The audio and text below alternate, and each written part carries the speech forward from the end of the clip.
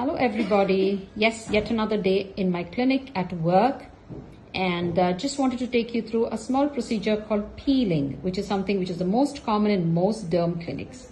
Now, this particular peeling was done for my patient here who suffers from severe painful acne.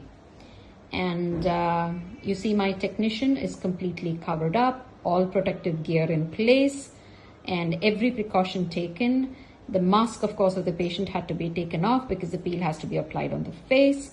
And uh, uh, the patient is not talking at that moment.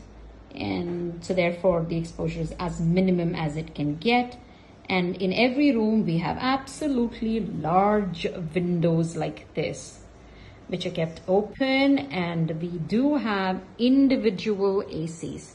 So there is absolutely no central AC and ducts contaminating from one room to the other. So everything is well taken care of and it's a large spaced out room and she's the only person in this room for now.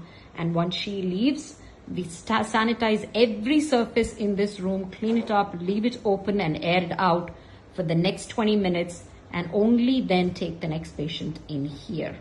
So Stay rest assured that we are taking utmost care of your safety and ours.